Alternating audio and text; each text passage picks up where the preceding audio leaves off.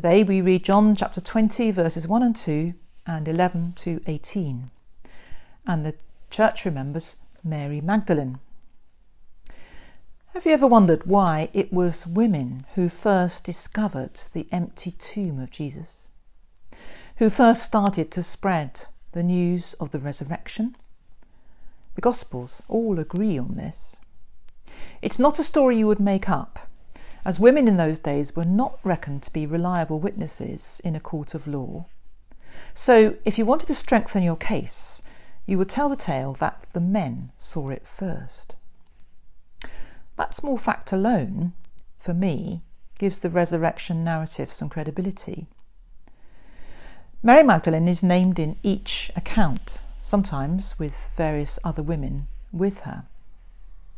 Jesus sent Mary to tell the other disciples, that is, the men, the news of his rising.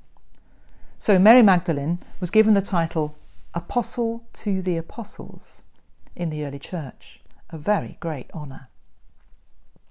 Her name relates to her hometown, Magdala, on the shores of the Sea of Galilee.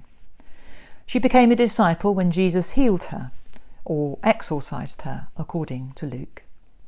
She accompanied Jesus on his ministry, helped to support him financially, and was present at the crucifixion, as well as seeing the risen Lord.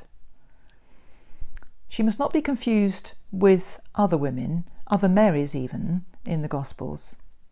Mary of Bethany, sister of Lazarus, and the repentant woman who anointed Jesus' feet with oil, they were different individuals.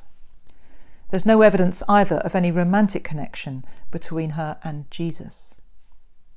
When he says, Do not touch me, it's better translated, Do not hold on to me, meaning that his risen presence was not to be retained like his previous physical presence. She could not keep him there.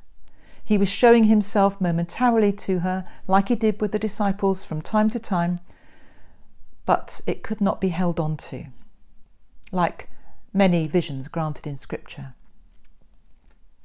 When Jesus was transfigured on the mountain before Peter, James, and John, and Peter suggested making booths for Jesus, Moses, and Elijah that may have been an attempt to hold on to, to keep the vision, not lose it.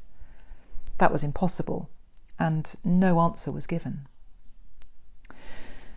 You might be asking yourself, why didn't Mary recognize Jesus at once in the garden? Well, she was weeping hard. Probably her head was wrapped in her scarf, and speaking to a man, she would not have looked up and met his gaze, she would have turned away.